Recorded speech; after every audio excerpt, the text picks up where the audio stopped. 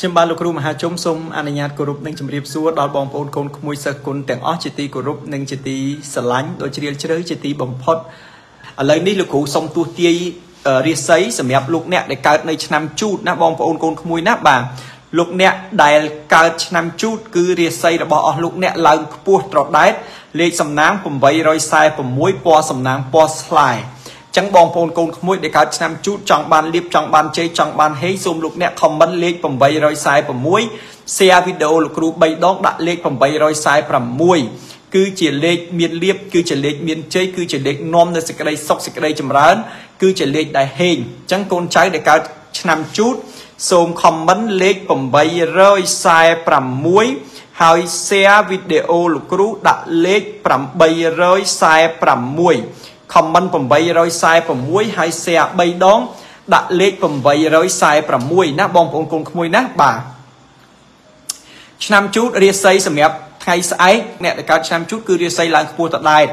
ចឹងរាល់កិច្ចការងារប្រកបមុខរបររកស៊ីជំនួញជួញដូរលក់ចេញទិញចូលឬមួយក៏អ្នកធ្វើការអាជីវកម្មផ្សេងផ្សេងគឺរមែងទទួលបាននៅភាពជោគជ័យមានផលចំណេញ ណាមានផលចំណេញលក់ចេញទិញចូលអីគឺលុយហូរចូលមកពីគ្រប់ទិសគ្រប់ទីអញ្ចឹងស្អែកបើកភ្នែកឡើងបានលុយអីអ្នកកើតឆ្នាំជូតគឺរាសីហេងមានលៀបមានជ័យបើអ្នកលក់ដូរលក់ដូរដាច់បើអ្នករកស៊ីគឺរកស៊ីបានអតិថិជនបានលុយហូរចូលហើយបើសិនជាអ្នកធ្វើការជាមន្ត្រីរាជការឬមួយស្ថាប័នរដ្ឋស្ថាប័នឯកជនអីគឺរមែងទទួលបានលៀបបានជ័យពីលិចពីកើតពីជើងពីត្បូងមកណាបាទសម្រាប់លោកអ្នកកើតឆ្នាំជូត ហើយបើនិយាយពីការធ្វើដំណើរអ្នកកើតឆ្នាំជូតធ្វើដំណើរទៅចិត្តទៅឆ្ងាយអីគឺ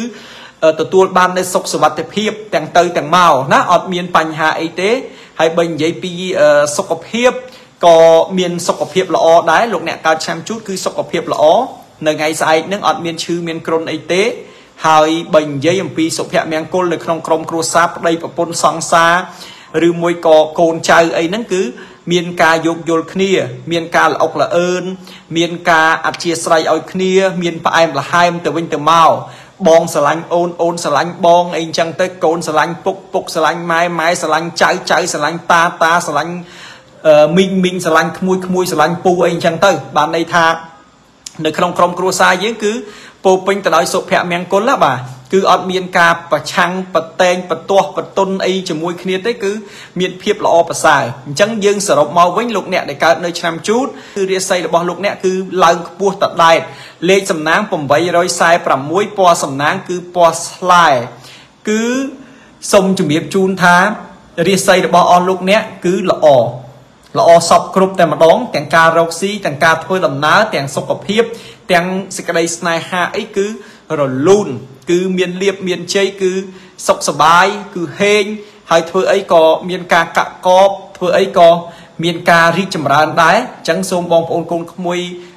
សិស្សគុណទាំងអស់បាទ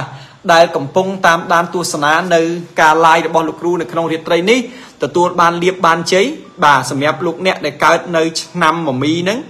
អឺសំទោសសម្រាប់លោកអ្នកដែលកើតនៅឆ្នាំជូតហ្នឹងគឺពិតជា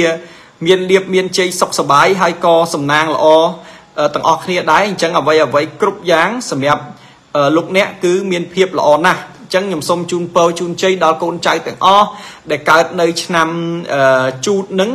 នៅថ្ងៃស្អែកនឹងគឺជាថ្ងៃមួយដែលមានលៀបមានជ័យជាថ្ងៃមួយដែលមានសេចក្តីសុខគឺជាថ្ងៃមួយដែលមានសេចក្តីចម្រើនហេងហេងទាំងអស់គ្នាណាបងប្អូនណាបាទអញ្ចឹងសូម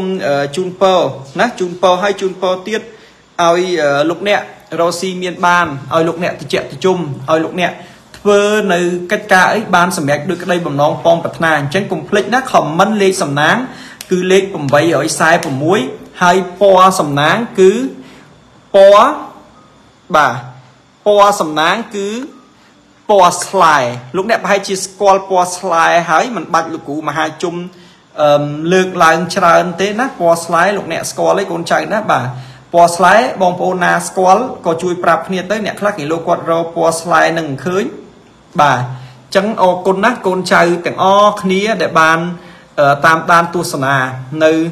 ការ live របស់លោកគ្រូមហាជុំនៅក្នុងរាត្រីហ្នឹងបាទដូចលោកគ្រូបានជំរាបជូនអញ្ចឹងថាពណ៌សំណាងគឺពណ៌ស្លែបាទអញ្ចឹងជូនពរណាកុំភ្លេចណាខមមិននៅលេខសំណាងផងរាសីឆ្នាំឆ្លូវណា គឺឡើងខ្ពស់ត្រដែតលេខសំណាង581ពណ៌សំណាងពណ៌ក្រហមកូនចៅដែលកើតឆ្នាំឆ្លូវគឺខមមិនលេខសំណាង581ហើយ share វីដេអូលោកគ្រូ3ដងដាក់លេខ581ពណ៌សំណាងថ្ងៃស្អែកគឺពណ៌ក្រហមរាសីរបស់អស់លោកអ្នកសម្រាប់កើតឆ្នាំឆ្លូវគឺឡើងខ្ពស់ត្រដែតស្អែកនឹងឆ្លូវឡើងខ្ពស់ត្រដែតកិច្ចការងារលក់ដូររកស៊ី លក់ចេញទិញចូលប្រកបរបរអាជីវកម្មអីផ្សេងផ្សេងគឺរលូនស្អែកនឹងធ្វើអីក៏កាក់កបធ្វើអីក៏រីកចម្រើនធ្វើអីក៏ជោគជ័យធ្វើអីក៏ល្អដែរអ្នកលក់ដូរលក់ដូរដាច់អ្នករកស៊ីរកស៊ីមានបានអ្នកដែលប្រកបរបរអាជីវកម្មស្អីស្អីអ្នកលក់អនឡាញអ្នកលក់ក្រៅអនឡាញអីក៏ដោយគឺលុយហូរចូលពីគ្រប់ទិសគ្រប់ទីហើយបើសិនជាធ្វើដំណើរទៅទីចិត្តទីឆ្ងាយសម្រាប់លោកអ្នកដែលកើតឆ្នាំឆ្លូវស្អែកអញ្ជើញទៅដល់ណាទៅទៅ អត់មានបញ្ហាអីទេណាគឺមានសវត្ថភាពសុខសบายទាំងការធ្វើដំណើរទាំងទៅទាំងមកប៉ុន្តែជំរាបកន្លែងនេះបន្តិចណាបាទគ្រូមហាជុំទាយថាធ្វើដំណើរសវត្ថភាពប៉ុន្តែប្រយ័ត្នតែគ្រូមហាជុំអាងគ្រូមហាជុំទាយថាធ្វើដំណើរដោយសមត្ថភាពលេខជិះផ្លូវលបឿនលឿនគេឲ្យជិះទៅ110ឯងឡើងជិះដល់240អានឹងមានគ្រោះថ្នាក់ កុំមកបន្ទោសលោកគ្រូមហាជុំពីព្រោះបារមីលោកគ្រូមហាជុំទៅគង់តាមថែរក្សា តែលបឿន110ទេតែឡើងដល់លបឿន240ហើយបារមីក៏លោកយាងចេញដែរលោកមិនមកអង្គុយជាមួយទេលោកខ្លាចគ្រោះថ្នាក់ចរាចរណ៍ជាមួយដែរអញ្ចឹងបងប្អូនកូនក្មួយការធ្វើដំណើរប្រកបដោយសមត្ថភាពប៉ុន្តែបើកបរដោយគ្រប់ច្បាប់ចរាចរណ៍ មិនមែនផ្លូវគេឲ្យជី110អីជី240ថតអួតគេទៀតទេណាអានឹងអត់ទេណាខ្លងខែកហែកលោកឯងពីមុនគេយកទៅវត្តប្រពុតឥឡូវវត្តប្រពុតគេបិទទេគេឈប់ឲ្យគេយកទៅវត្តទឹកថ្លាអញ្ចឹងធ្វើដំណើរគឺធ្វើដោយសវត្ថិភាពប៉ុន្តែត្រូវតែគិតនៅរឿងផ្ទាល់ខ្លួនផងគ្រប់ច្បាប់ចរាចរណ៍ហើយបើនិយាយពីសុខភាពស្អែកសុខភាពល្អស្នេហាមានសុភមង្គលអត់មានបញ្ហាអីទេសរុបទៅមកលោកអ្នកដែលកើតឆ្នាំឆ្លូវ លេខសំណាងលោកអ្នកបាទលោកអ្នកដែលកើតឆ្នាំឆ្លូវរាសីសម្រាប់ថ្ងៃស្អែកឡើងខ្ពស់តដែតលេខសំណាង581ពណ៌សំណាងពណ៌ក្រហមរាសីឡើងខ្ពស់តដែតស្អែក everything គ្រប់យ៉ាងគឺល្អហើយមានលៀបមានជ័យហើយក៏សុខសบายហើយក៏ជោគជ័យហើយក៏រីកចម្រើនគ្រប់យ៉ាងទាំងអស់ចឹងបងប្អូនកូនក្មួយដែលកើតនៅឆ្នាំឆ្លូវសូមខមមិនលេខ581 comment លេខ581 share វីដេអូលោកគ្រូមហាជុំដាក់លេខ581គឺបងប្អូនកូនក្មួយនឹងមានលៀបមានជ័យសុខសប្បាយសំណាងល្អហើយក៏ចម្រើនជោគជ័យរីករាយទាំងអស់គ្នាណាបាទជូនពរដល់កូនចៅដែលកើតឆ្នាំឆ្លូវសូមឲ្យទទួលនៅភាពមានបានហើយក៏ជោគជ័យហើយក៏រីកចម្រើនគ្រប់យ៉ាងទាំងអស់ទាំងរឿងស្នេហា ទាំងរឿង សុខភាពទាំងរឿងចំណូលចូលសុខសប្បាយណាបាទបន្តមកទៀតខ្ញុំសូមទួសទាយជូនដល់កូនដែលកើតនៅឆ្នាំខាលក៏ឡើងខ្ពស់តដែរដែរលេខសំណាងគឺលេខ927ពណ៌សំណាងពណ៌បៃតងកូនចៅដែលកើតឆ្នាំខាលណាបាទសូមខមមិនលេខសំណាងគឺលេខ927ពណ៌សំណាងគឺពណ៌បៃតងរាសីឡើងខ្ពស់ត្រដែតខមមិនលេខ927 share វីដេអូលោកគ្រូ3ដងដាក់លេខ927កិច្ចការងារលក់ដូររកស៊ីប្រកបរបរអាជីវកម្មលក់ចេញទិញចូល នៅថ្ងៃស្អែកនេះគឺលោកអ្នកល្អប្រសើរធ្វើអីក៏កាក់កបធ្វើអីក៏ជោគជ័យហើយអ្វីអ្វីគ្រប់យ៉ាងគឺល្អចំពោះការងាររកស៊ីចំពោះការរកលុយគឺល្អណាស់បើនិយាយពីលក់ដូរលក់ដូរដាច់ បើនិយាយពីរ៉ូស៊ីរ៉ូស៊ីមានអតិថិជនមានភៀវបានផលចំណេញហើយបើនិយាយពីរ៉ូលុយរ៉ូលុយចូលណាធ្វើដំណើរទៅទីចិត្តទីឆ្ងាយក៏ជួបតែនឹងសុខសวัสดิភាពហើយបើនិយាយអំពីសុខភាពក៏ល្អបើនិយាយអំពីស្នេហា រវាងក្រមុំនិងកំឡោះរវាងប្តីនិងប្រពន្ធរវាងគូសង្សាររវាងស្នេហាគ្នាគឺល្អកល្អឿនណាស់ចាប់ពីដើមគេថាដូចទឹកអប់បំពង់ខ្ចីចឹងថ្ងៃស្អែកសុខសบายសំណាងល្អជោគជ័យណាបាទ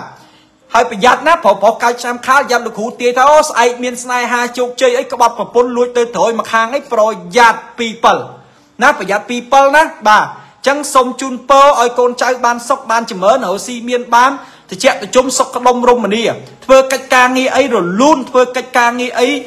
ជោគជ័យហើយប្រកបនៅកិច្ចការអីសូមឲ្យបានសម្រេចដូចសេចក្តីបំណងប៉ងប្រាថ្នាចប់ឆ្នាំខាលចូលដល់ឆ្នាំថោះ បាទចប់ឆ្នាំខាលចូលដល់ឆ្នាំថោះណាលោកអ្នកដែលកើតឆ្នាំថោះលេខសំណាង171ពណ៌សំណាងពណ៌លឿងរាសីថ្ងៃស្អែកមធ្យម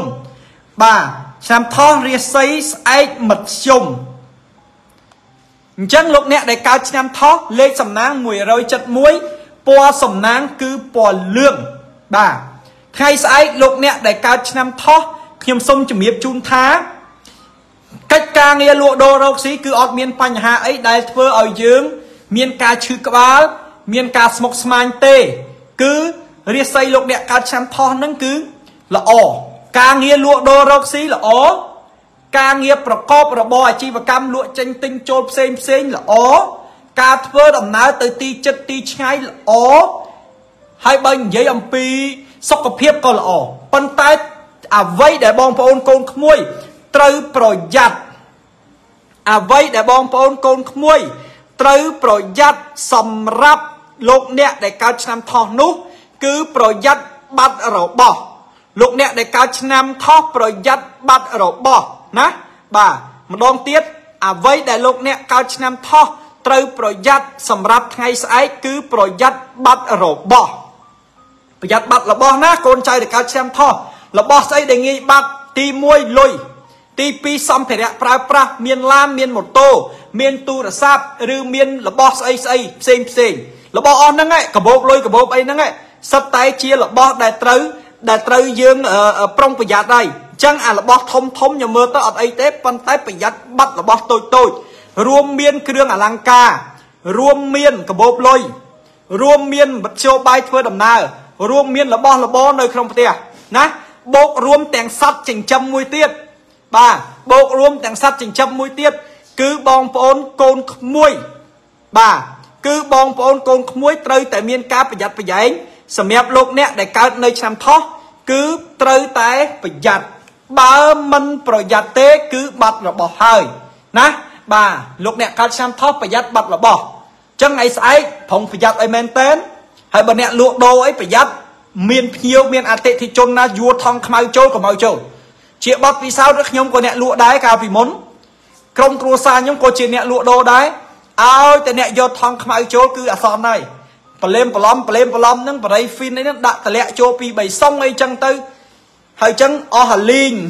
ប្រយ័ត្នណាប្រយ័ត្នគេលួចអ្នកលក់ដូរអីប្រយ័ត្នគេប្រឡំណាប្រយ័ត្នបាត់ប្រយ័ត្នប្រយែងឲ្យមែនតែនចឹងអរគុណណាខ្ញុំសុំបន្តទៀតដល់កូនចៅដែលកើតនៅឆ្នាំរោងឆ្នាំរោង រាសីរបស់អស់លោកអ្នកសម្រាប់ថ្ងៃស្អែកក៏មធ្យមដែរលេខសំណាងគឺលេខ319ពណ៌សំណាងគឺពណ៌សលោកអ្នកដែលកើតឆ្នាំរោងណាបាទលេខសំណាងសម្រាប់លោកអ្នកគឺលេខ319អញ្ចឹងបងប្អូនកូនក្មួយដែលកើតឆ្នាំរោងសូមខមមិនលេខ319ហើយសូម share វីដេអូលោកគ្រូ3ដងដាក់លេខ319ណាបាទពណ៌សំណាងគឺពណ៌ស រាសីគឺមធ្យមឆ្នាំរោងអញ្ចឹងអ្នកណាខ្លះកើតឆ្នាំរោងគឺសូមខមមិនលេខ319ពណ៌សំណាងពណ៌សរាសីមធ្យមអញ្ចឹងថ្ងៃស្អែកអ្នកកើតឆ្នាំរោងការលក់ដូររ៉ូស៊ីការរលុយមិនដែរគឺរលូនលក់ដូរបានរកស៊ីបាន ចម្រើនជោគជ័យបានធ្វើអីកាក់កបណាធ្វើដំណើរមិនដែរល្អអត់គិត អត់ពិបាកធ្វើចោះទៅណាទៅទៅ សុខភាពមិនដែរអត់អីប៉ុន្តែប្រយ័ត្នរឿងក្តៅក្រហាយថ្ងៃស្អែកលោកអ្នកដែលកើតឆ្នាំរោងត្រូវសម្រួលចិត្តត្រូវទប់អារម្មណ៍បើមិនដូច្នោះទេ គឺលោកអ្នកនឹងមានរឿងក្តៅក្រហាយនៅក្នុងក្រុមគ្រួសារបើគេមិនធ្វើឲ្យយើងក្តៅក៏យើងក្តៅខ្លួនឯងដែរចឹងថ្ងៃស្អែកទប់ចិត្តណាតាំងចិត្តឲ្យត្រជាក់ដូចទឹកអមរិតសំរួមម៉ារីកូនម៉ារីដឹងអត់សំរួមចិត្ត បើកូនធ្វើខុសកុំជេរកូនបើប្តីធ្វើខុសកុំជេរប្តីកុំរករឿងប្តីបើអ្នកចិត្តខាងមានរឿងអញអញដាក់យើងយើងដើរចេញយើងទប់គឺជាវិធីសាស្ត្រដែលល្អបំផុតបើសិនជាមិនល្អបើមិនល្អទេយើងតបតអានឹងមានរឿងហើយហើយខ្ញុំនិយាយត្រង់អ្នកឆ្នាំរោងយើងអត់រករឿងគេទេ គេសុកសុកគេមកជេរយើងយើងជេរគេវិញយើងអ្នកខុសអញ្ចឹង ឲ្យគេជេរយើងទៅឲ្យគេថាយើងទៅយើងសុកចិត្តចាញ់ដើម្បីកុំឲ្យមានរឿងពីព្រោះថាមានរឿងវាមិនដែលល្អទេ មានរឿងវាមិនដែលសមរម្យទេអញ្ចឹងបងប្អូនកូនក្មួយដែលកំពុងតាមដានទស្សនានេះកើតឆ្នាំរោងសូមបងប្អូនកូនក្មួយ ប្រយ័ត្នមានរឿងស្អែករឿងមិនធំដុំទេប៉ុន្តែរឿងក្តៅក្រហាយរឿងឆ្លោះគ្នាអញ្ចឹងបើយើងមានរឿងតែយើងមិនសប្បាយចិត្តអញ្ចឹងបងប្អូនគ្រូមហាជុំជម្រាបកុំឆ្លោះប្រកែកគ្នាកុំឲ្យមានរឿងបើយើងឆ្នាំរោងយើងប្រាប់ខ្លួនយើងថា calm down អត់ធ្មត់ហើយបើសិនបើយើងមានប្តីយើងមានប្រពន្ធកើតឆ្នាំរោងយើងត្រូវក៏អត់ធ្មត់ដែរគ្រូមហាជុំទាយថាប្រពន្ធអញកើតឆ្នាំរោងឆេវឆាវអញ្ចឹងស្អែកអញត្រៀមខ្លួនអត់ធ្មត់ទៅហើយអញ្ចឹងរួចខ្លួនអត់មានបញ្ហាអីទេ ណារួចខ្លួនអត់មានបញ្ហាអីទេអញ្ចឹងណាទប់ចិត្តបើខ្លួនឯងសម័យខ្លួនក៏ទប់ចិត្តដៃគូដែលមានប្រពន្ធមានប្តីកើតឆ្នាំរោងក៏ទប់ចិត្តណាទប់ចិត្តណាពាក្យខ្មែរគេថាចាញ់ជាព្រះឈ្នះជាមាអញ្ចឹងសុកចិត្តធ្វើចាញ់ឲ្យបានធ្វើជាព្រះណោះអាណាឈ្នះមាទៅដល់ចកោមណែអញ្ចឹងណាបងប្អូនណាបាទអញ្ចឹងឆ្នាំរោងលេខសំណាងគឺលេខ319ពណ៌សប្រយ័ត្នឆ្លោះគ្នាកូនម៉ារីគាត់ថា OK I can do it be strong ណែ believable with you OK OK ណា OK I believe you ណា you are strong woman កូនសម្លាញ់ជូនពរកូន strong strong strong and calm down calm down calm down ណាបាទអរគុណឥឡូវនេះដល់ឆ្នាំម្សាញ់ឆ្នាំម្សាញ់លោកអ្នកដែលកើតឆ្នាំម្សាញ់រាសីរបស់អស់លោកអ្នកសម្រាប់ថ្ងៃស្អែក រាសីក៏មធ្យមដែរលេខសំណាងគឺលេខ719កូនចៅដែលកើតឆ្នាំម្សាញ់ខមមិនលេខ719ពណ៌សំណាងគឺពណ៌លឿងទុំពណ៌សំណាងគឺពណ៌លឿងទុំណាបងប្អូនណាបាទរាសីមធ្យមពណ៌សំណាងពណ៌លឿងទុំលេខសំណាង719ពណ៌សំណាងគឺពណ៌លឿងទុំពណ៌លឿងទុំ បងប្អូនស្គាល់ពណ៌លឿងទុំទេណាពណ៌លឿងទុំពណ៌ដូចអាវខ្ញុំពាក់ម្សិលមិញបាទពណ៌លឿងទុំនេះពណ៌ស្តៀងចេះនេះពណ៌លឿងទុំពណ៌ចេះពណ៌លឿងទុំហ្នឹងណាបងប្អូនគេហៅពណ៌លឿងទុំអ្នកខ្លះគេហៅពណ៌ការ៉ុតអ្នកខ្លះគេហៅពណ៌ស្លាទុំអញ្ចឹងលោកអ្នកកើតឆ្នាំម្សាញ់លេខសំណាង719ពណ៌សំណាងពណ៌លឿងទុំរាសីមធ្យមអញ្ចឹងរាសីរបស់លោកអ្នកនៅថ្ងៃស្អែកមធ្យម ការងារលក់ដូររ៉ូស៊ីគឺលក់ដាច់អត់មានបញ្ហាទេលក់ដាច់បាទមានម៉ួយមានអតិថិជនលក់ចេញទិញចូលធម្មតាបើនិយាយអំពីការដើរដំណើរផ្លូវចិត្តផ្លូវឆ្ងាយ គឺជួបសវត្ថភាពអញ្ជើញដើរចោះអើសុំទោសឆ្នាំម្សាញ់លក់ដូរដាច់មានភ្ញៀវមានអតិថិជន ចូលមកគ្រប់ទិសទី ចូលមកគ្រប់ទិសទីណាចូលមកគ្រប់ទិសទីប្តីប្រពន្ធកូនចៅក្រុមគ្រួសារស្រឡាញ់គ្នាល្អុកល្អឿនជាមួយគ្នាយោគយល់គ្នាណែធ្វើអីក៏ល្អធ្វើអីក៏ជោគជ័យធ្វើអីក៏រីករាយស្រឡាញ់គ្នា មានតែបងមួយជួយឲ្យអូនរស់មានតែអូនមួយជួយឲ្យបងរស់ណែចម្រៀងពីដើមគេច្រៀងមានតែអូនមួយជួយឲ្យបងរស់លះបង់គេឈ្មោះអស់សន្តាន បាទស្រឡាញ់ស្រឡាញ់គ្មានអ្វីប្រៀបបានតើកល្យានអូនដឹងទេ បាទអញ្ចឹងឆ្នាំម្សាញ់សេចក្តីស្នេហាផ្អែមល្ហែមលក់ដូរដាច់ធ្វើអីក៏កាក់កបប៉ុន្តែស្អែកណាសុំកមាលទោសព្រះអង្គឲ្យលើកដៃសាពះកុំដើរឆ្ងាយ ស្អែកនេះកុំគួរដើរឆ្ងាយអីមិនសូវល្អទេកុំដើរឆ្ងាយណាហាមដើរឆ្ងាយ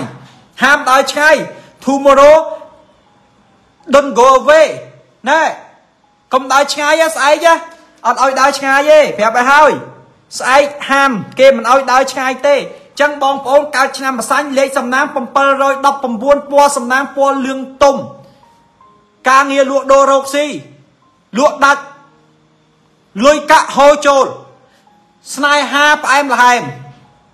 ប៉ុន្តែម្យ៉ាងគត់គឺហាមដើរឆ្ងាយហាមដើរឆ្ងាយណា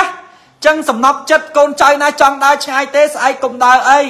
ហើយបើជាមិនបានទេលោកគ្រូជាតួនាទីត្រូវតែទៅទៅចោះបើកបរដោយសវត្ថិភាពកុំបើកឡានពេលយប់បើកឡានពេលថ្ងៃអានឹងចម្រើនជោគជ័យរីករាយធ្វើអីល្អធ្វើអីជោគជ័យណាកូនចៅណាបាទអញ្ចឹងរាសីឆ្នាំម្សាញ់កូនចៅណាចង់ហេង comment លេខ719ពាក្យអាវពណ៌លឿងទុំស្អែក share វីដេអូលោកគ្រូមហាជុំចំនួន3ដង នោះលោកអ្នកនឹងមានលៀបមានជ័យប៉ុន្តែស្អែកណាកុំដើរឆ្ងាយអង់គ្លេសថា don't go away don't go away ណាកុំដើរឆ្ងាយកុំដើរឆ្ងាយចឹងណាបងប្អូនណាលោកអ្នកដែលកើតឆ្នាំម្សាញ់ហាមដើរឆ្ងាយស្អែកសុំជំរាបតែប៉ុណ្្នឹងឯងមមីលោកអ្នកដែលកើតឆ្នាំមមីរាសីឡើងខ្ពស់ត្រដែតលេខសំណាងគឺលេខ539ពណ៌សំណាងគឺពណ៌ប្រផេះបាទ លេខសំណាង539ពណ៌សំណាងពណ៌ប្រផេះកូនចៅដែលកើតឆ្នាំមមីសូមខមមិនលេខ539 share វីដេអូលោកគ្រូ3ដងដាក់លេខ539ពណ៌សំណាងគឺពណ៌ប្រផេះរាសីឡើងខ្ពស់ត្រដែតលោកអ្នកដែលកើតឆ្នាំមមីថ្ងៃស្អែកនេះការធ្វើដំណើរទីចិត្តទីឆ្ងាយ គឺទទួលបានសុវត្ថិភាពណា អញ្ជើញទៅទីចិត្តទីឆ្ងាយអីមានសុវត្ថិភាពកិច្ចការងារលក់ដូររកស៊ីប្រកបរបរអាជីវកម្មលក់ចេញទិញចូលអីគឺមានភាពល្អប្រសើរលក់ដាច់សុខសบายសំណាងល្អធ្វើអីក៏ជោគជ័យធ្វើអីក៏រីកចម្រើនធ្វើអីក៏សមប្រកបធ្វើអីក៏ល្អណាបាទសេចក្តីស្នេហាសេចក្តីស្នេហាក៏មានភាពល្អប្រសើរដែរ អត់មានភាពរាំងស្ទះអត់មានភាពឆ្លោះប្រកែកគ្នាក្បត់ចិត្តគ្នាទេ គឺល្អប្រសើរណាស់សម្រាប់លោកអ្នកដែលកើតឆ្នាំមមីអញ្ចឹងសរុបមកវិញកូនចៅដែលកើតឆ្នាំមមីលេខសំណាង539ពណ៌សំណាងពណ៌ប្រផេះរាសីឡើងខ្ពស់ត្រដែតកិច្ចការងារលក់ដូររកស៊ីប្រកបរបរអាជីវកម្មលក់ចេញទិញចូលអីគឺល្អប្រសើរជោគជ័យរីកចម្រើន ធ្វើដំណើរទៅផ្លូវចិត្តផ្លូវឆ្ងាយជួបសុវត្ថិភាពសុខភាពល្អសេចក្តីស្នេហាអីក៏ល្អដែរអត់មានបញ្ហាអីទេអញ្ចឹងកូនចៅដែលកើតឆ្នាំមមីលេខសំណាង539ពណ៌សំណាងពណ៌ប្រផេះ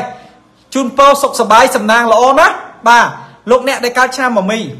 បន្ទាប់មកទៀតដល់លោកអ្នកដែលកើតនៅឆ្នាំមម៉ែ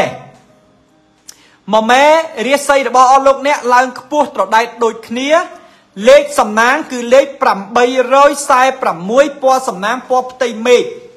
លោកអ្នកដែលកើតឆ្នាំមម៉ែសូមខមមិនលេខសូមខមមិនលេខ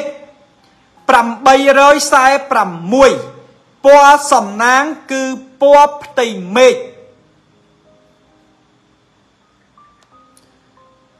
ពណ៌សំណាងគឺពណ៌ផ្ទៃមេឃ លេខសំណាងគឺលេខ846រាសីរបស់អស់លោកអ្នកនៅថ្ងៃស្អែកនេះ គឺឡើងខ្ពស់តដែតសម្រាប់កូនចៅទាំងអស់កិច្ចការងារនៅថ្ងៃស្អែកគឺមានភាពល្អប្រសើរមិនថាការងារលក់ចេញទិញចូលការងារលក់ដូរការងារផ្សេងផ្សេង គឺល្អប្រសើរណាលក់អីក៏ដាច់ធ្វើអីក៏ជោគជ័យធ្វើអីក៏រីកចម្រើនដែរ ធ្វើដំណើរទៅទីចិត្តទីឆ្ងាយក៏ជួបនឹងសวัสดิភាពស្នេហាក៏ផ្អែមល្ហែមសុខភាពក៏ល្អសម្រាប់កូនចៅណាដែលកើតនៅឆ្នាំមួយម៉ែហ្នឹងណាបាទគឺល្អប្រសើរអញ្ចឹងលោកអ្នកដែលកើតឆ្នាំមួយម៉ែស្អែកល្អគ្រប់យ៉ាងអត់មានអីព្រួយបារម្ភអត់មានអីដេកគិតអត់មានអីដេកព្រួយទេអញ្ចឹងអ្នកកើតឆ្នាំមួយម៉ែលេខសំណាង846ពណ៌សំណាងពណ៌ផ្ទៃមេឃ ស្អែកធ្វើអីគឺជោគជ័យគ្រប់រឿងគ្រប់យ៉ាងទាំងអស់ណាបាទអញ្ចឹងអរគុណមែនតែនសម្រាប់លោកអ្នកកើតឆ្នាំមួយម៉ែបន្ទាប់មកទៀតខ្ញុំសូមទស្សទាយជូនដល់កូនចៅដែលកើតនៅឆ្នាំរកាអូឆ្នាំវោកឆ្នាំវោកណាបាទឆ្នាំវោកឆ្នាំវោករាសីឡើងខ្ពស់ត្រដែតដូចគ្នា បាទរាសីឡើងខ្ពស់ត្រដែតដូចគ្នាពណ៌សំណាង ពណ៌សំណាងគឺពណ៌ទឹកក្រូចលោកអ្នកដែលកើតឆ្នាំវោករាសីស្អែកឡើងខ្ពស់តដែតពណ៌សំណាងគឺពណ៌ទឹកក្រូចលេខសំណាងគឺលេខ359លោកអ្នកកើតឆ្នាំវោកខមមិនលេខសំណាង359រាសីឡើងខ្ពស់ត្រដែតណាស្អែកនឹងណាអ្នកកើតឆ្នាំវោកខមមិនលេខសំណាង359ពណ៌សំណាងគឺពណ៌ទឹកក្រូច រាសីឡើងខ្ពស់ត្រដែតអញ្ចឹងលោកអ្នកដែលកើតនៅថ្ងៃអឺកើតនៅឆ្នាំវោកនឹងនៅថ្ងៃស្អែកការងារលក់ដូរលក់ចេញទិញចូលប្រកបរបរអាជីវកម្មផ្សេងផ្សេងគឺល្អ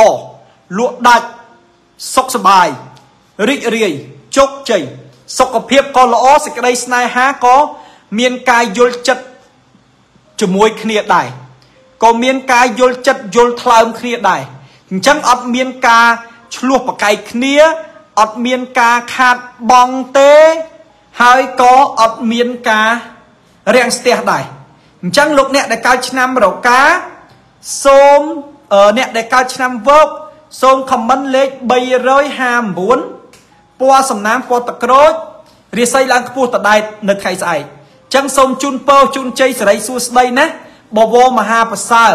ជូនដល់កូនចៅនេះមិញទាយបានឆ្នាំជូតឆ្នាំឆ្លើយឆ្នាំខាលឆ្នាំថោះឆ្នាំរោងម្សាញ់មមីមម៉ែវោកសូមឲ្យមានលៀបមានជ័យសូមឲ្យសុខសប្បាយសូមឲ្យរស់ស៊ីមានបានសូមឲ្យចម្រើនជោគជ័យរីករាយណាចឹងអរគុណណាស់សូមទាយដល់ឆ្នាំរកាអ្នកដែលកើតឆ្នាំរកាលេខសំណាង គឺលេខ988ពណ៌សំណាងគឺពណ៌ពងមាន់រាសីមធ្យម អញ្ចឹងកូនចៅដែលកើតឆ្នាំរការាសីរបស់អស់លោកអ្នកស្អែកមធ្យមណាបាទអត់ល្អហើយក៏អត់អាក្រក់ដែរមកល្មមស្អែកមធ្យមអញ្ចឹងថ្ងៃស្អែកនេះលក់ដូររស់ស៊ីមិនដែរចម្លើយឆ្លើយថាលក់ដាច់អត់អីទេធ្វើដំណើរទៅទីចិត្តទីឆ្ងាយមិនដែរសវត្ថភាពសេចក្តីស្នេហាមិនដែរល្អុកល្អឿនសុខភាពមិនដែរឈឺថ្ងៃស្អែកគឺអ្នកកើតឆ្នាំរកាឈឺ អញ្ចឹងលោកអ្នកដែលកើតឆ្នាំរកាអ្នកខ្លះឈឺពីថ្ងៃហ្នឹងទៅហើយអ្នកខ្លះឈឺពីថ្ងៃហ្នឹងទៅហើយបាទអ្នកកើតឆ្នាំរកាណាអ្នកខ្លះឈឺពីថ្ងៃហ្នឹងទៅហើយនោះអត់មានចាំស្អែកតនទេឈឺពីថ្ងៃហ្នឹងទៅហើយបាទឈឺពីថ្ងៃហ្នឹងទៅហើយណាឆ្នាំរកាហ្នឹងចឹងប្រយ័ត្នប្រយែងសុខភាពបន្តិចសម្រាប់កូនចៅដែលកើតឆ្នាំរកាបើមិនប្រយ័ត្នទេ គឺឈឺហើយ បាទហើយបើឈឺហើយលេបថ្នាំទៅប៉ុន្តែបើអ្នកមិនទាន់ឈឺទេប្រយ័ត្នទៅព្រោះថាស្អែកនឹងគេប្រាប់ហើយគេប្រាប់ច្បាស់ទៀតថាប្រយ័ត្នប្រយែងរឿងសុខរភាពបន្តិចសម្រាប់លោកអ្នកដែលកើតឆ្នាំរកាណាបាទអញ្ចឹងកូនចៅកើតឆ្នាំរកាខ្ញុំអត់មានអីជូនពរទេពីព្រោះថាលក់លក់ដាច់ហើយស្នេហាមានហើយប៉ុន្តែខ្ញុំជូនពរកុំឲ្យឈឺតែប៉ុណ្្នឹងឯណាបាទខ្ញុំជូនពរកុំឲ្យឈឺតែប៉ុណ្្នឹងទេ ចឹងបើសិនជាឈឺហើយជូនពរឲ្យឲ្យអឺឲ្យបើសិនឈឺហើយជូនពរឲ្យឆាប់ជាហើយបើមិនឈឺទេជូនពរកុំឲ្យកុំឲ្យឈឺទៅតែប៉ុណ្្នឹងទៅបានហើយអ្នកខ្លះតវ៉ាទៀតណាប្រាប់ថាឈឺហើយហ្នឹងនោះលោកគ្រូមហាជុំជាថាទាយឲ្យខ្ញុំឈឺខ្ញុំគ្មានឈឺផងអើហើយបើចង់ឈឺវេឲ្យទៅឈឺទៅគេទាយឲ្យឈឺឲ្យមិនឈឺអទៅអត់ទេមកចាញ់ផ្ចាលឯងទៀតឲ្យប្រយ័ត្នប្រយែងសុខភាពកុំឲ្យឈឺ ប៉ុន្តែបើជ្រុលទៅឈឺហើយឲ្យវាឆាប់ជាទៅកុំចង់ចាញ់ចង់ផ្ចាលអីនោះបាទលោកគ្រូថាខ្ញុំឈឺខ្ញុំអត់ឈឺផងខ្ញុំលេបថ្នាំទុកអើអញ្ចឹងល្អហើយហើយបើឈឺហើយលេបថ្នាំទៅនៅកូនគុនធា បាទជូនពរណាបាទអរគុណឥឡូវនេះខ្ញុំសូមបន្តទាយដល់កូនចៅដែលកើតឆ្នាំច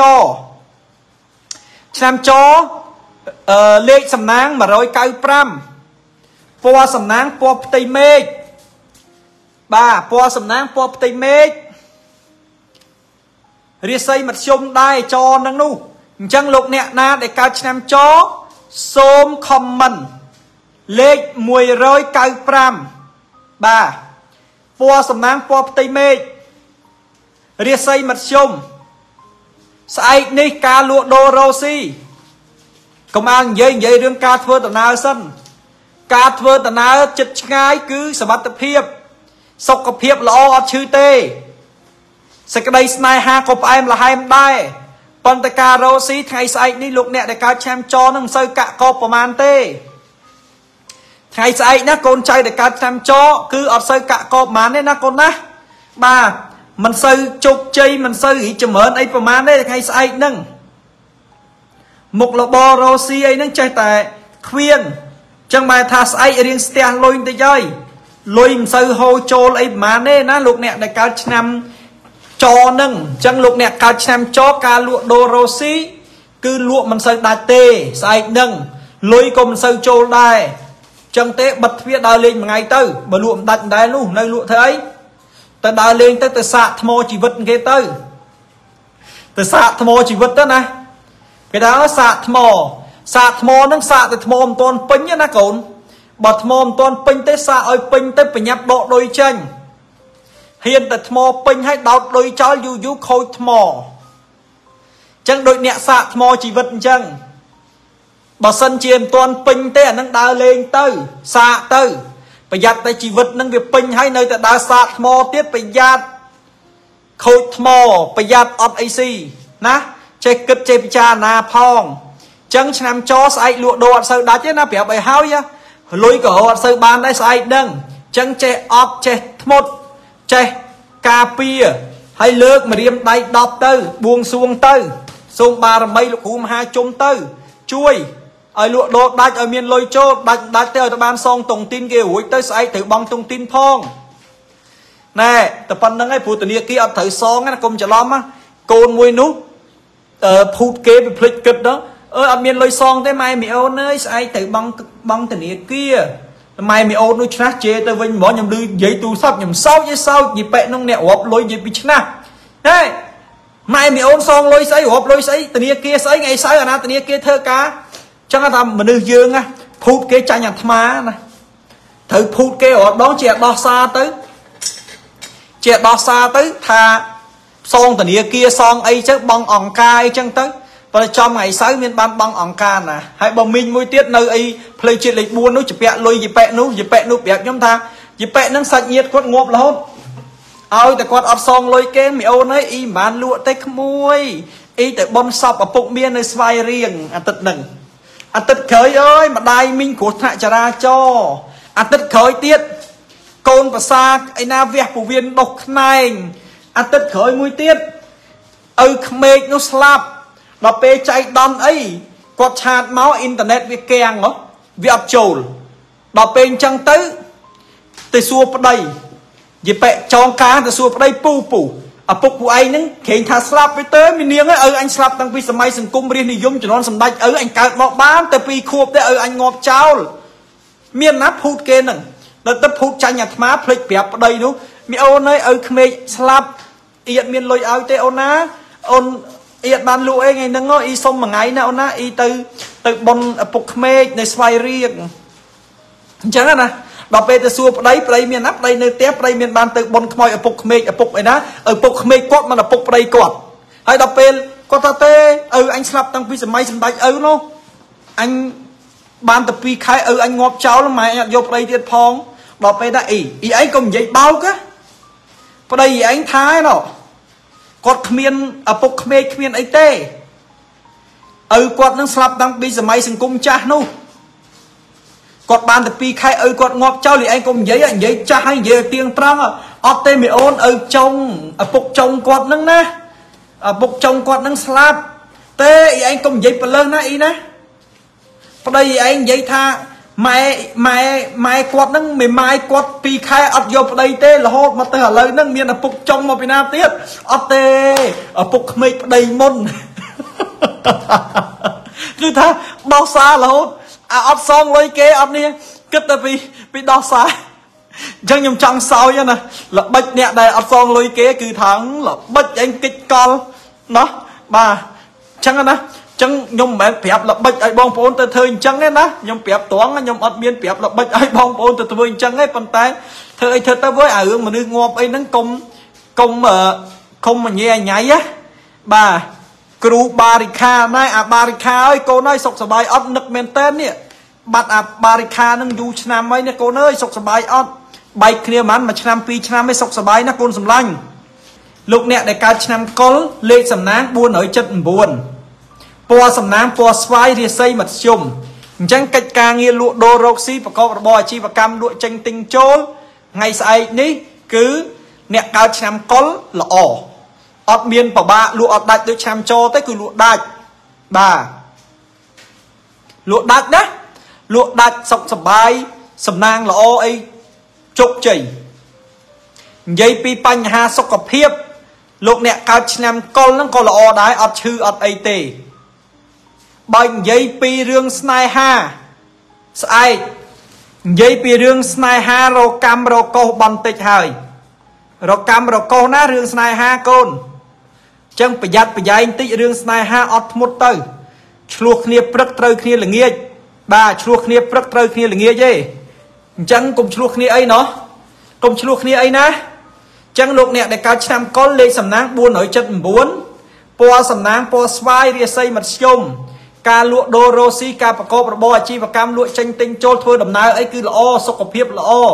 ប៉ុន្តែស្នេហាអត់សូវល្អណាយើងឆ្លោះគ្នាបន្តិចឲ្យស្អែកប្តីប្រច័នប្រពន្ធប្រច័នតិចឲ្យស្អែកធ្វើឲ្យធ្វើទៅកុំឲ្យប្តីប្រច័នធ្វើឲ្យធ្វើទៅកុំឲ្យប្រពន្ធប្រច័នណាស្អែកបើដឹងថាគេប្រច័នហើយគេស្អប់ណាកុំទៅនងអ្នកខ្លះហ្នឹងប្តីប្រច័នថាណកុំឲ្យទៅអបអានផ្ទះនងប្តីប្រច័នហើយនៅតែទៅ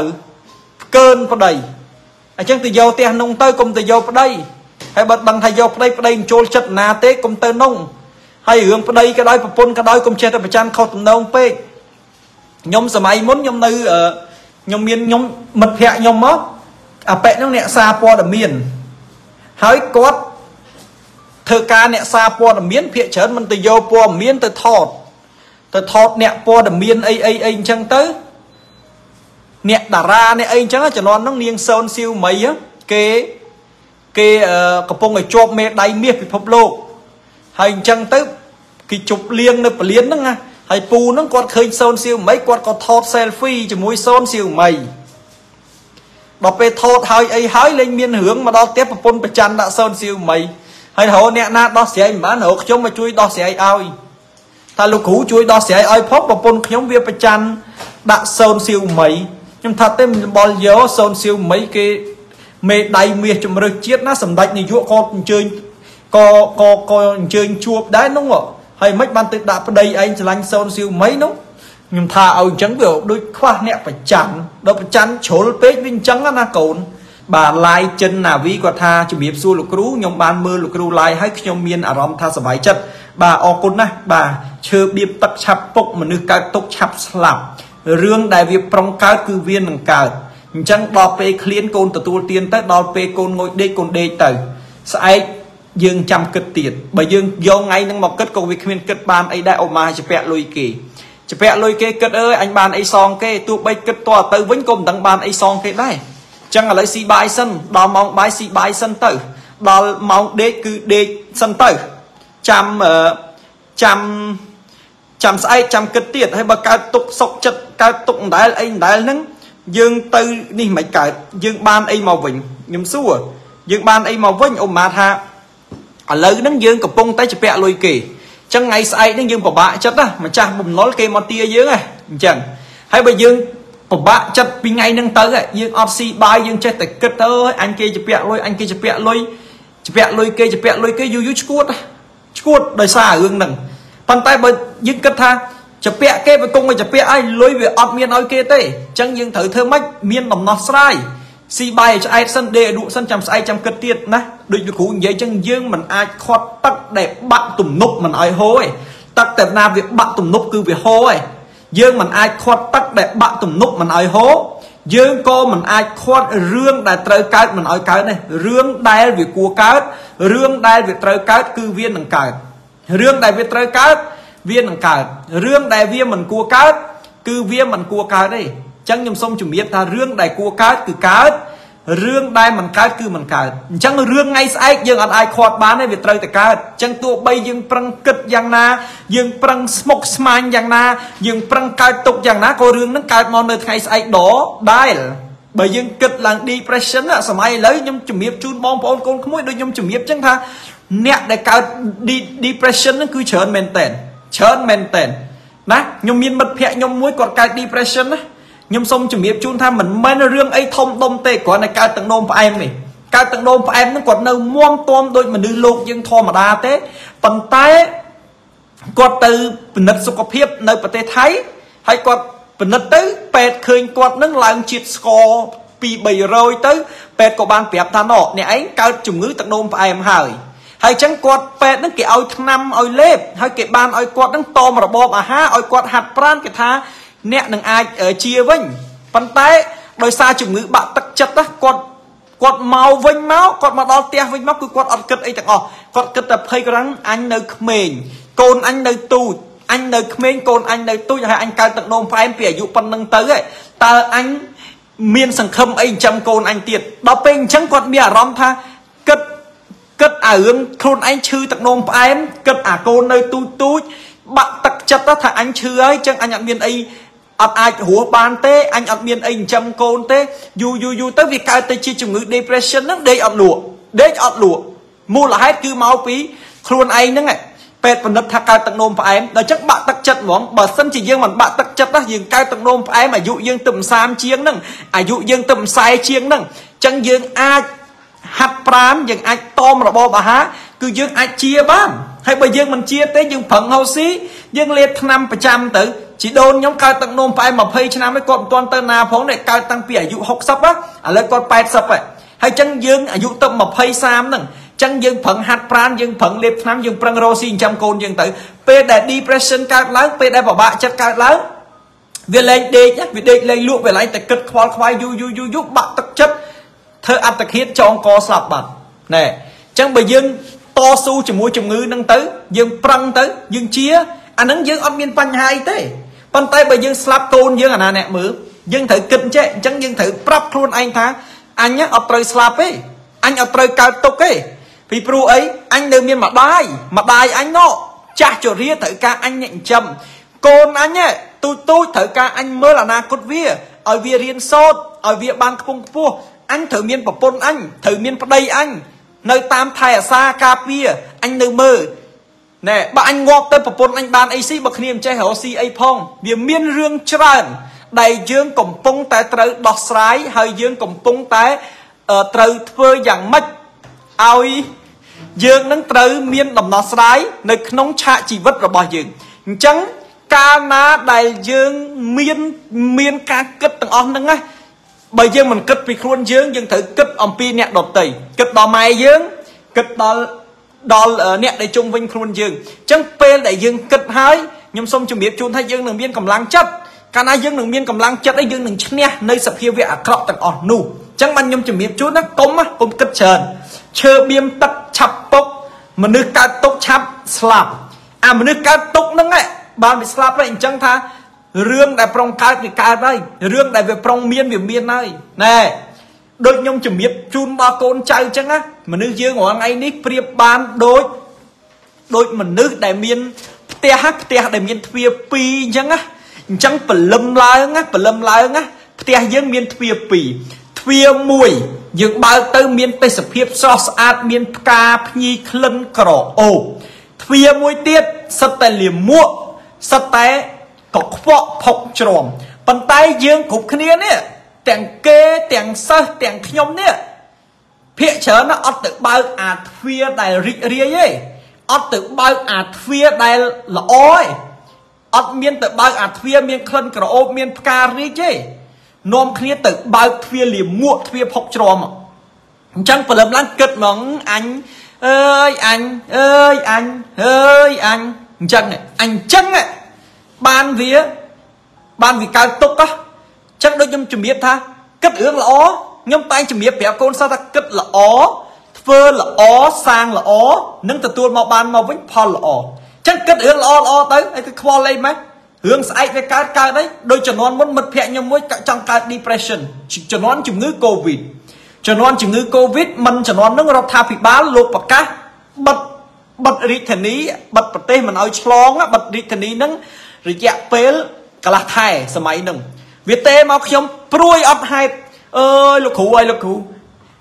គេបិទប្រទេសចឹងអញអើយមិនដឹងបានអីស៊ីមិនដឹងបានអីលក់ដូរមិនដឹងអីខ្ញុំថាណែហើយកូហួសហេតុម៉េចបើអញគិតយូរយូរវវឈួតគេបិទហ្នឹងគេមិនមែនបិទតែយើងឯណាគេបិទទាំងអស់តែគ្នាតើមានអីស៊ីនងទៅមានអីស៊ីនងទៅអង្គមានអីមានស៊ីតើវាមិនដែរអាណាបិទមិនឲ្យយើងទៅទិញបាយទិញម្ហូបស៊ីអី រដ្ឋាភិបាលគេគិតចង់ងាប់គេគិតជាងយើងទៀតមុនគេបិទនោះគេមិនទុកឲ្យប្រជាពលរដ្ឋអត់បាយបើយើងអន់កស៊ីយើងប្រាប់គេទៅហើយក៏ខ្វល់ខ្វាយម៉េចវិញអញអញដូចមិនខ្វល់ផងតែអញមិនដឹងមានកមកកញ្ចប់ទុកដោយឯងមកឯងស្រូវពេញចងុកសោះ20 20ម៉េចអញខ្ញុំថាឲ្យអញ្ចឹងទៅវានៅទាំងបានអីស៊ីទេកូនអញវិចចុះចេញចុះចេញចុះខ្ញុំថាទេលោកឲ្យលោកគេល្មិចយើងល្មិចហើយក៏គិតអីវែងឆ្ងាយម៉េះ វាមិនដែលរត់ណាគេមិនឲ្យយើងទៅទិញម្ហូបស៊ីខ្ញុំថាឲ្យអញ្ចឹងទៅវាចេះតែមកនិយាយមិនដែលមិនដែលហើយបើយើងចេះដឹងណាហេអញមិនដឹងទេបើគេបិទបិទទៅបិទគេទៅវិញមានអីស៊ីក្នុងទៅយើងយើងយើងអត់អត់ពិបាកអីគឺយើងដេកដោយស្រួលប៉ុន្តែបើយើងគិតយើងចេះគិតអើយអញគេបិទប្រទេសចឹងកូវីដអញ្ចឹងបានអីស៊ីទេអីទេអញ្ចឹងណាវាទេមកសាំតប៉ែមួយខ្ញុំយូរយូរខ្ញុំខឹងតាខ្ញុំខឹងខ្ញុំស្ដីឲ្យខ្ញុំថាម៉េចមកស្រុកខ្មែរហ្នឹងវាបិទប្រទេសឯងមួយអីនោះអញ គេបិទគ្រប់តែគ្នាសោះហ្នឹងឯងក៏កើតទុកសុកចិត្តម៉េច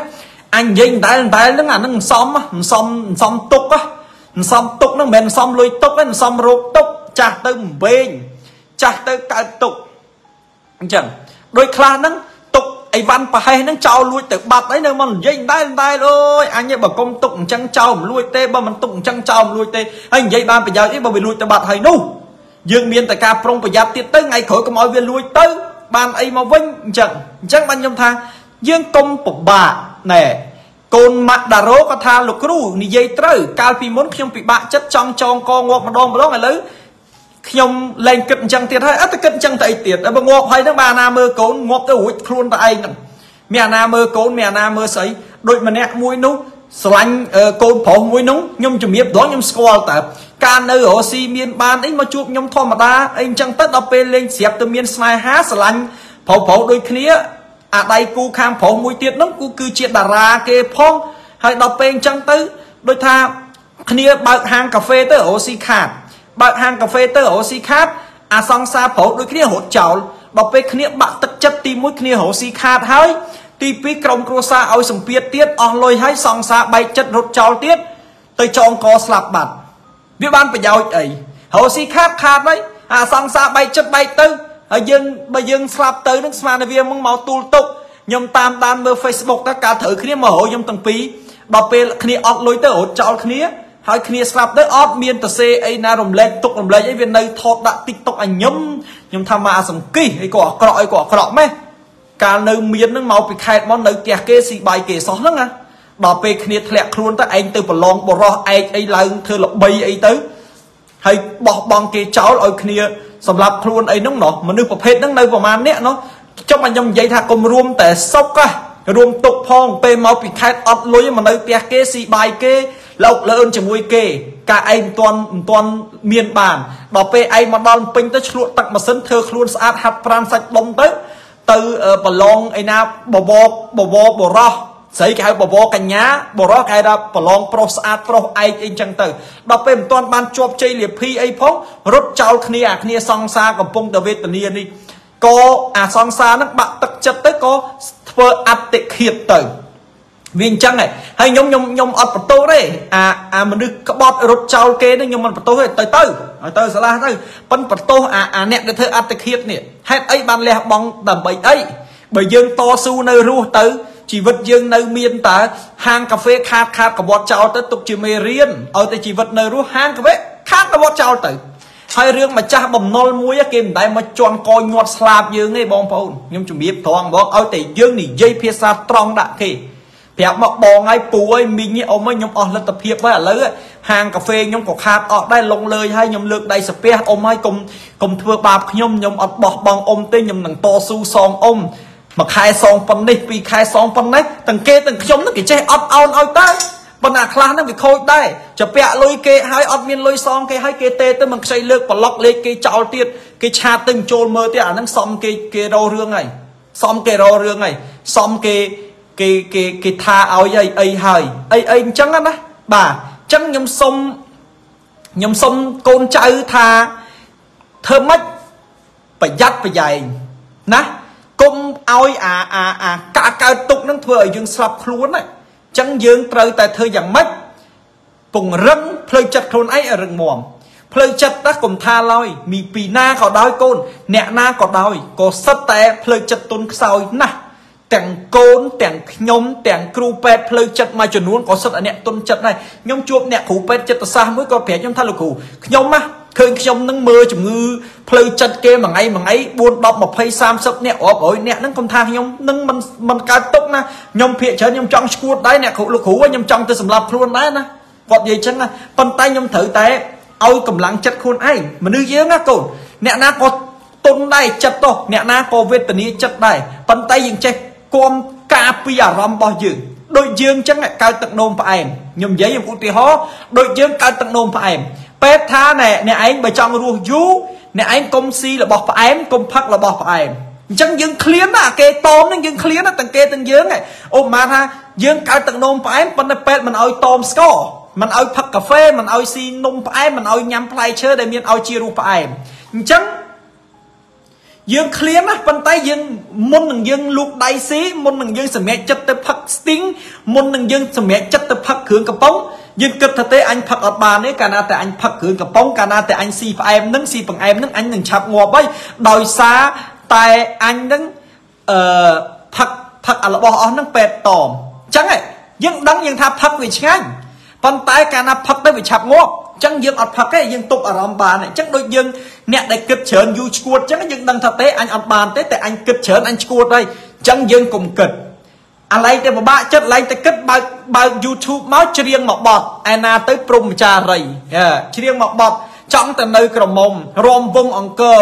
អីអញ្ចឹងទៅច្រៀងទៅរំទៅសบายចិត្តបាត់រីករាយបាត់ មើលតែមិនសូវសុបាយចិត្តទៀតដកជិះឡានទៅមើលគេមើលឯងទៅអូមើលទេសភាពមើលអីអញ្ចឹងទៅចប់ណាចប់ចប់ប៉ុន្តែបើយើងកើតទុកឲ្យស្ដាប់ចម្រៀងសេតទៀតស្ដាប់ចម្រៀងឯណាចុតម៉ៃមច្ចរាជអាឯងកំពុងតែខ្វល់ចិត្តហើយអាឯងកំពុងតែព្រួយចិត្តអីទៅដាក់បត់ចុតម៉ៃមច្ចរាជមកទៀតណែ ម្សិលមិញចិត្តខ្ញុំនៅសង្ឃឹមពិតបងហើយបងអាឯងកំពុងតែសង្សារបែកចិត្តផងទៅស្ដាប់បត់ចុតម៉ៃមច្ចរាជទេអានឹងដូចទាញគ្នាតម្លាក់ទឹកអញ្ចឹងណែបត់កំសត់កុំស្ដាប់ស្ដាប់បត់សបាយសបាយរីករាយដូចខ្ញុំកើតទុកចឹងកូនចៃវាចាក់បត់សន្យា3ថ្ងៃខ្ញុំថាចុយយ៉ាអាលបលយោអាអញពងកើតទុកមកមកដាក់បត់សន្យា3ថ្ងៃបត់គឺកំសត់ព្រាត់ប្រាស់គ្នាអញស្ដាប់ទេលេងវាដូរបត់សន្យា3ថ្ងៃវាដាក់បត់សំណប់ចិត្តខ្ញុំបត់ជើងមេឃពណ៌ស្វាយ យកយន្តស្ងាត់សូនអូននឹកបងទេបងនឹកអូនណាអានឹងព្រាត់ប្រាស់គ្នាទៀតកើតទុកទៀតចឹងទោះបីវារឿងជាបត់ចម្រៀងហ្នឹងមិនជ្រៀងទៅវាដកជាប់ខួរក្បាលយើងចឹងកុំណាគិតរឿងសបាយសបាយគិតរឿងរីករាយណាកូនចៅណាបាទអញ្ចឹងខ្ញុំប្រាប់ខ្ញុំជិះឡានទៅកំពង់សោមសំណន់ហ្នឹងអត់ទាន់មានផ្លូវលបឿនលឿនទេថាខ្ញុំជិះឡានតកង់ហ្នឹងវាបើកគាត់បើកក៏បើកបើកជន់ប្រាំងងឹក បើកបើកប្រកាច់បើកបើកប្រកិនខ្ញុំថាងាប់ហើយអញឈួតហើយក្អួតក៏ក្អួតអញ្ចឹងអីក៏អីអញ្ចឹងនៅលើឡានហ្នឹងហើយទៅមើលចម្រៀងគាត់ចាក់សិតបត់រស់សេរីសទ្ធាសិតបត់សមុទ្រខ្ញុំអ្នកគ្រប់ត្រូលបត់រស់សេរីសទ្ធាបត់សមុទ្រដែរប៉ុន្តែដោយសារវាពុលឡានផងអាលាក់អាលើផងកាលហ្នឹងផ្លូវជាតិលេខ4គេធ្វើទៀតនោះចាក់អាបត់បុរាណបុរាណហ្នឹងសិតតែបត់មโนសិញ្ចេតនាខ្លងខែកហែកលោកទួញយំសោកកាយណាយនៃ ដើមពោដើមជ្រៃម្ដេចអ្នកនៅស្ងៀមឈឹងឆាប់បាក់សង្កត់រូបខ្ញុំទៅឲ្យទៅតាមអូនសំលេងខ្លែងស្រាកឯណាឯណីកុសល បងមកមិនទាន់ជីវិតដង្ហើមចុងក្រោយអូនហើយគេច្រៀងដើមពោដើមជ្រៃឆាប់បាក់អីចឹងទៅណាគេច្រៀងចឹងថាឯងអាក្អួតអញ្ចឹងមកអាពុលឡានផងចង់ឈួតទេអត់មិនបានថាអញបើនៅបន្តទៅ20នាទីទៀតហើយជាងាប់នៅលើឡានក្រុងហ្នឹងឯងពុលឡាន អត់ដែរពុលប៉ុន្តែវាត្រូវពុលចឹងមកចម្រៀងចរន់អាអាឡានក្រុងគេដាក់ចម្រៀងដល់ពេលអញ្ចឹងទៅទៅប្រាប់តាតកងឡានគាត់ចាស់ហើយគាត់ប្រហែលជា50ជាង60ហើយជំនាន់ហ្នឹងខ្ញុំថាពូពូអើយពូខ្ញុំសុំបបពូលើកដៃសាពះពូវិញដូរចម្រៀងចេញមកពូខ្ញុំខ្ញុំស្ដាប់មិនបានទេដល់ពេលពូនឹងគាត់អេអញអញគាត់រកអីមិនគាត់ដាក់អាយ៉ៃព្រំម៉ាញ់នឹងយាយយ៉យ ដាក់អាយ៉ៃនឹងព្រំម៉ាញ់យាយយ៉យទៅនិយាយរឿងសັບតពាំងនិយាយរឿងការ៉េមនិយាយរឿងស្អីណាយនៅចឹងទៅដូចថាវារំភើបវាសោចទៅបាត់ពលឡានបាត់ខ្ញុំថាអើយងាប់ហ៎បើសិនជាបើសិនជានៅតែបន្តអាចអាបត់មនោសញ្ចេតនានឹងទៀតនឹងប្រហែលជាទៅហើយมันអាចរស់បានទៀតទេប្រហែលជាប្រកាច់នៅលើឡាននឹងហ្មងទៅប្រាប់បងថាពូពួកឯងដូរចម្រៀងខ្ញុំមកពូអាណិតខ្ញុំពួកឯងដាក់បត់ណាសបាយសបាយបន្តិចទៅពូ ក្មួយគ្មានបត់ណាសបាយទេមានតែព្រំម៉ាញ់អាចដាក់ព្រំម៉ាញ់ទៅគាត់ដាក់ព្រំម៉ាញ់មកយើងអង្គុយស្ដាប់ព្រំម៉ាញ់ទៅវាច្រៀងទៅគាត់កំ pl ែងទៅសបាយចិត្តទៅនិយាយទៅលេងពុលវាចឹងណាបរិយាកាសចឹងឲ្យយើងកំពុងកើតទុកផងកំពុងឲ្យជពាក់ណុលគេផងកំពុងឲ្យជពាក់លុយគេផងហើយទាំងមើលព័ត៌មាននឹងមើលចំតែអាអាអាកូនបំណុលនឹងជពាក់គេឲ្យអត់មានលុយសងគេចងកសម្រាប់ខ្លួនអើ អាអាអ្នកជពាក់លុយគេអត់សងគេហៅឡើងតុលាការជាប់គុក20ឆ្នាំ30ឆ្នាំអានឹងចប់ហើយមិនបាច់មើលទេភ័យលើសដើមអាខ្លួនឯងកំពុងជពាក់លុយគេអត់មានអីសងហើយឆ្លៀតទៅចូលតាមដានព័ត៌មានថាណោះកូនបំណុលនៅខេត្តស្វាយរៀងជំពាក់លុយគេ2000ដុល្លារឥឡូវនេះអត់មានអីសងក៏ធ្វើអតិឃាតសម្រាប់ខ្លួនអានឹងមួយហើយកុំមើលឲ្យសោះអាខ្លួនឯងកើតទុកទៅមើលទៀតអូសរំលង សមត្ថកិច្ចខាត់ខ្លួនតាមបញ្ជារបស់សាលាដំបងចាប់ខ្លួនបរោះឆោបោកលុយគេដែលខ្ចីលុយមិនសងចំនួន20000ដុល្លារឲ្យជាប់គុក20ឆ្នាំឧទាហរណ៍ណាអានឹងដាច់ខ្យល់ឯអញអញជពាក់លុយគេដែរអត់មានអីសងគេវវគេចាប់អញដាក់គុកវវគេអញ្ចេះវវគេអញ្ចោះអានឹងធ្វើឲ្យយើងកាន់តែបាក់ទឹកចិត្តហ្នឹងណាកុំអាកំពុងតែបាក់ទឹកចិត្តហ្នឹងទៅសុបាយទៅរីករាយទៅល្អទៅជោគជ័យអូអ្នកដែលនៅចិត្តខ្លួន ឲ្យនិយាយពាក្យល្អល្អដាក់យើងអញ្ចឹងបានគ្រូមហាជននិយាយពាក្យល្អដាក់កូនចៅនឹងឲ្យវាដឹងណាមិនខ្លួនឯងជពាក់លុយគេឲ្យទៅមើលព័ត៌មានសន្តិសុខសង្គមទេណាជីឲ្យបានកុំកុំមើលឲ្យសោះវិញកុំមើលកុំមើលឲ្យសោះកុំមើលហើយអាអ្នកនៅចិត្តខ្លួនក៏ដោយពេលដែលគេកំពុងតែមានរឿងអញ្ចឹងមកសួរគេទៀតអានឹងដូចយកសាំងជះលើភ្លើងអញ្ចឹងអញ្ចឹងដូចខ្ញុំមកគេកំពុងតែមានរឿងខ្ញុំមិនដែលសួរគេទេ ខ្ញុំមានទេទៅសួរគេខ្ញុំថាអូអាឡូសុខសប្បាយអត់វើយតនេមកស៊ីសុបមួយអញតនេទៅនោះមួយអញខ្ញុំនិយាយចឹងចប់មិនដូចអ្នកខ្លះគ្នាកំពុងកើតទុកកំពុងតែវេទនាកំពុងតែស្អីហើយនៅអាខ្លះប្តីគេគ្រោះថ្នាក់ចរាចរណ៍ស្លាប់ស្អែកឡើងអត់មានទេទៅអីគេទៅគេពងនឹកប្តីគេមិនទេអើយហងអញយប់មិញយល់សពឃើញប្តីហងឃើញស្រស់អញញឹមដើរស្រាប់ទៅប្រហែលជាអត់អីស៊ីទេអានឹងចប់ទៅហ្មងប្រពន្ធគេកំពុងតែនឹកប្តីផងឯងទៅនិយាយអញ្ចឹងហើយបើលឺសពឃើញអីឃើញទៅទៅប្រាប់គេធ្វើអី អានឹងយកសាំងជះលើភ្លើងណាបាទអាអាអាអាប្តីគេកំពុងឲ្យស្លាប់ធ្វើ7ថ្ងៃហើយថ្មីថ្មីគេមិននៅនឹកស្រណោះអឡោះអាឡៃប្តីគេហើយឯងដល់ទេអាឡូពួកម៉ាយប់មិញអញលឺសពឃើញប្តីឯងអូយអញឃើញដើរស្រាប់ដល់ហងឲ្យផែជាឃ្លានណាអានឹងចប់ហើយលឺសពឃើញអីឃើញទៅកុំទៅប្រាប់គេគេមិនចង់ដឹងគេមិនចង់លឺទៅគេកំពុងតែកាត់ចិត្តសំណោះអាឡោះអាឡៃពីប្តីគេផងឯងទៅទេប្រាប់សិតតែប្តីគេណាយណៃណាយណៃអញ្ចឹងណាបញ្ចាត់រឿងនឹងមួយ បាទអ្នកដែលអ្នកដែលកំពុងតែជួបរឿងអស់នឹងឲ្យគេមកប្រាប់ទៀតកុំឲ្យសោះណាកុំប្រាប់គេណាគេមានទុកអីគេប្តីគេស្លាប់ហើយឯងនៅទៅឆ្លៀតប្រាប់គេទៀតខ្ញុំខោកទៅញយហ្នឹងកូនសិស្សខ្ញុំមួយវាសំដីវាវាសំដីត្រង់វាមិនមែនអាក្រក់ទេវាត្រង់ប៉ុន្តែវាទៅនិយាយអញហងបើអញដូចឯងអញទៅចងកងាប់ហ៎ហើយខ្ញុំខឹងខ្ញុំជេរសិតកូនសិស្សខ្ញុំខ្ញុំជេរថាមកមានលបល់យកអាគេពងកើតទុកទៅបញុះគេទៀតអាហ្នឹង គេនឹកអត់ឃើញផ្លូវចងកទេឯងនិយាយចឹងដូចហៅគេទៅចងកចឹងអញប្រាប់កុំនិយាយអសោះកូនខ្ញុំណាកូនខ្ញុំឯងព្រោះខ្ញុំកូនខ្ញុំអាយុ20ជាង30អីចឹងណាសិតកូនសិស្សកូនគុណខ្ញុំឯងចឹងសូមអរគុណណាសូមជូនពរអាយុវណ្ណៈសុខៈពលៈចូលដល់កូនគ្រប់គ្នាសូមបានសុខបានចម្រើនចាប់តាំងពីពេលនេះតរៀងទៅណាសូម